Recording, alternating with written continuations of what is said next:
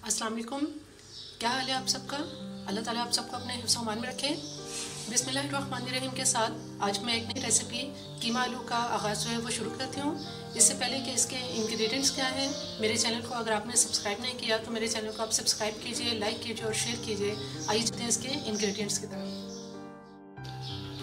आलू कीमा बनाने के लिए हमें कीमा चाहिए, जो कि आधा किलो ये कीमा है। इसमें दो बड़े साइज़ के प्याज हैं, जिन्हें स्लाइस में कटिंग कर लिया है। इसके अलावा इसमें आलू हैं, जो तीन बड़े साइज़ के जो है वो आलू हैं, जिन्हें मोटे स्लाइस में कटिंग कर लिया है इसकी। एक से डेढ़ टेबल स्पून हमारे पास लहसुन अदरक पेस्ट है। इसके अलावा इसमें तीन टेबल स्पून जो है वो दही है, और यहाँ हमारे पास गर्म मसाला है, जिसमें एक तेज़पात है, दो दालचीनी के स्टिक्स हैं, दस से बारह जो है वो काली मिर्च है लौंग है चार से पाँच और वन टीस्पून इसमें, एक टीस्पून ज़ीरा है।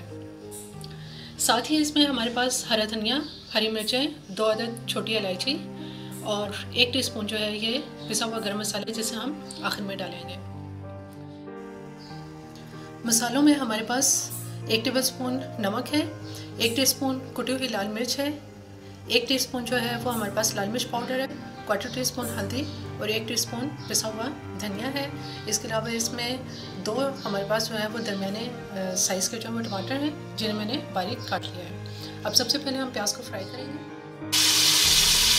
यहाँ प्रेशर कुकर में आधा कप आधा कप ऑयल के अंदर मैंने ये सारी प्याज डाल दी है, जिसे हम अभी अब फ्राई करेंगे।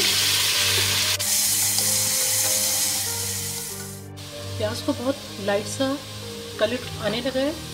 अब इसमें मैं ये गरम मसाला डाल दूँगी। थोड़ा सा गरम मसाले को भी प्याज के साथ फ्राई करेंगे।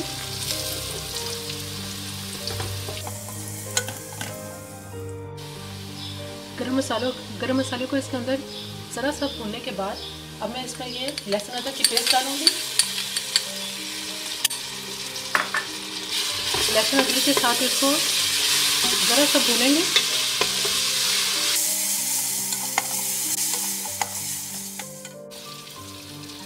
लहसुन अदरक थोड़ा सा हमने इसको भून लिया अब मैं इसमें ये सारा कीमा डाल दूँगी, जो कि आधा किलो है।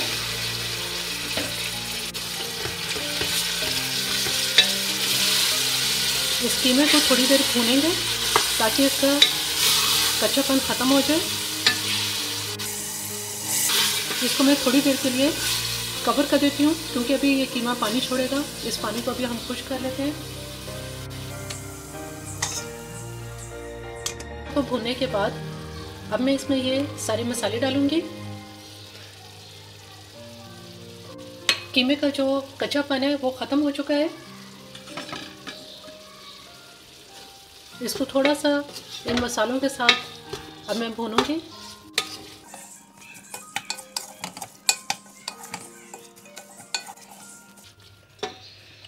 इसमें कि आप टमाटर डाल देंगे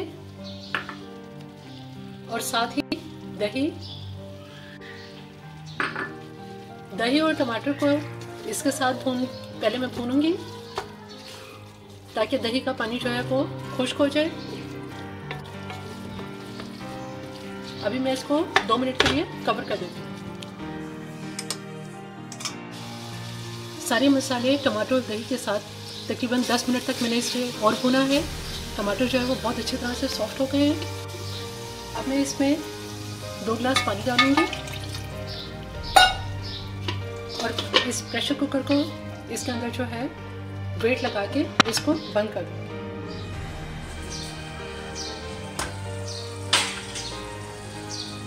कीमा बिल्कुल तैयार है। तकरीबन 25 मिनट के बाद जो है वो मैंने इसका वेट उठाया है। कीमा भून के अब हम इसमें ये आलू डाल देंगे। आलू डालने के बाद इसमें मैं इतना पानी डालूँगी कि आलू अच्छी तरह से गल जाए। और अगर थोड़ी ग्रेवी चाहिए तो थोड़ी सी ग्रेवी भी इसमें रह जाए। अब मैं इसके अंदर दोबारा से वेट लगा दूँगी और इसको हल्की आँच पर पका लेंगे। कीमा आलू बिल्कुल तैयार है। दस मिनट में आलू जो है वो बिल्कुल गल चुके हैं। जितना पानी मैंने डाला था उसी में ये गल गए हैं। अब मैं इसके अंदर थोड़ी सी ये हरी मिर्चें इलायची पाउडर जो मैंने दो इलायची ली थी और पिसा हुआ गरम मसाला ये डाल दूँगी। और इसको थोड़ी देर के लिए पाँच मिनट के लिए दम पे रखूँगी, फिर मैं इसको डिश आउट करती हूँ।